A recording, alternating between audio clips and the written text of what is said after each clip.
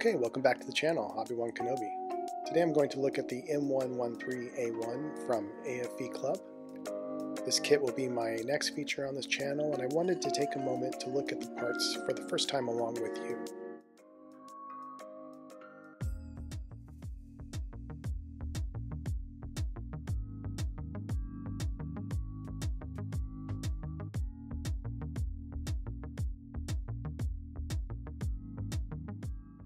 We can see the hull here.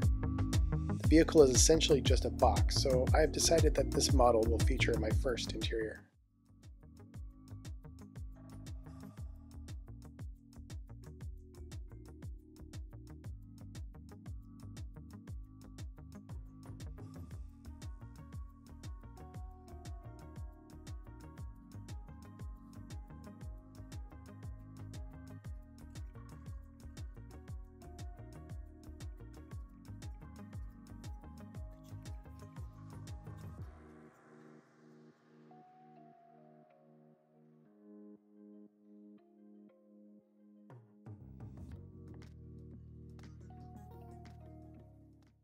Here are the tracks.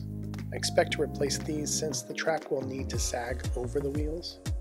I just don't think I'll be able to get these vinyl ones to look right.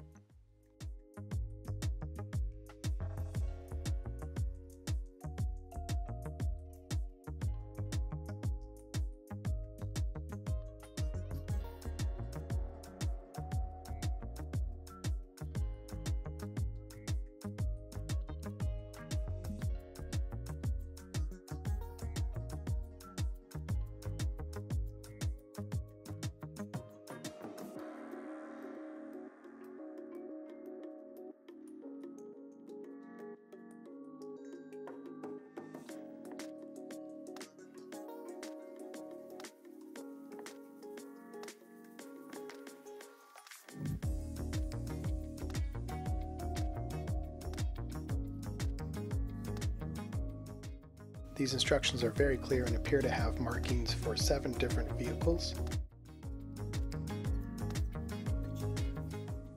There is some PE included and a decal sheet.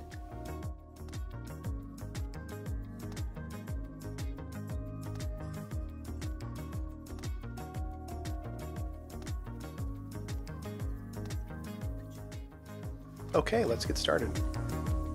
The parts look finely detailed and crisp.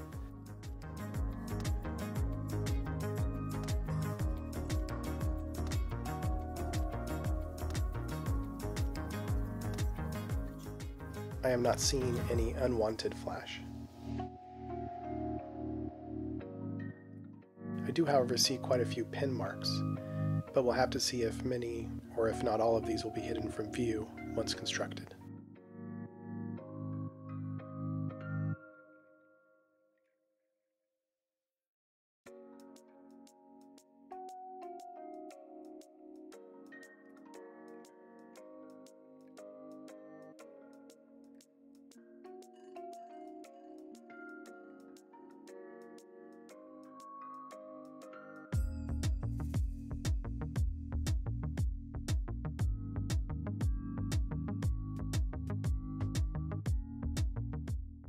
Here is a closer look at the parts tree labeled C.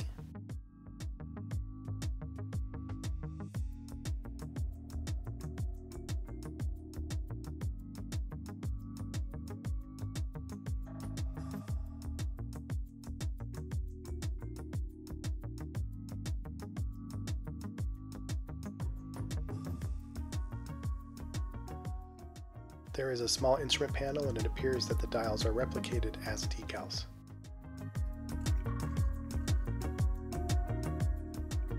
The door ramp looks well detailed on both sides. Here we have parts tree D. Two are provided and cover details such as the rear benches and driver's seat cushions.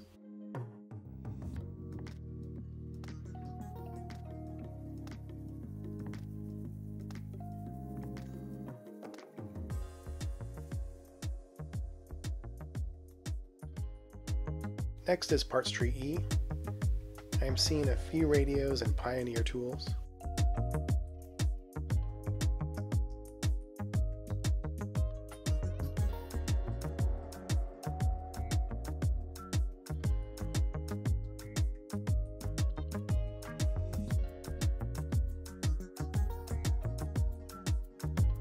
Now looking at parts tree A, we find the wheels, sprockets, and other running gear parts.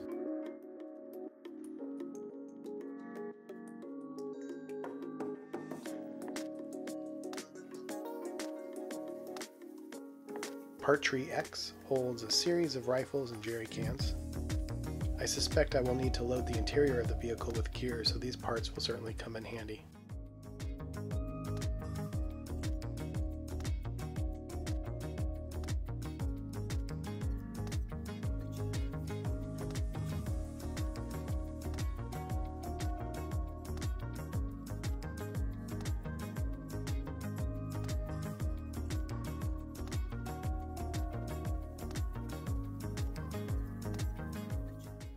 Next we have the hull.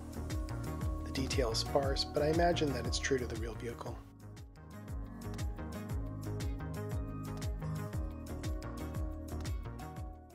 Now let's look at part tree B. Here we find many of the larger panels for the interior, including a panel for the floor.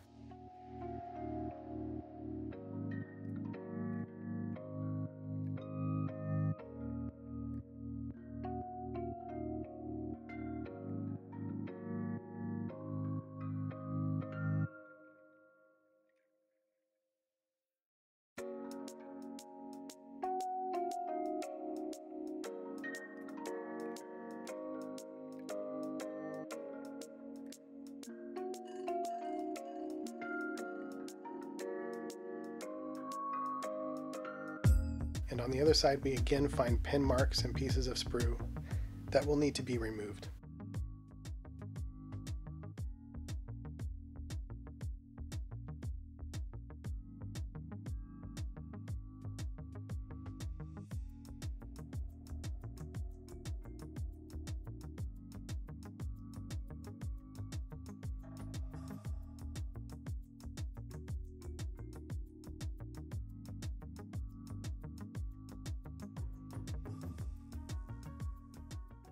These tracks should be replaced with individual links to provide the appropriate sag unless you are building the vehicle with the side skirts.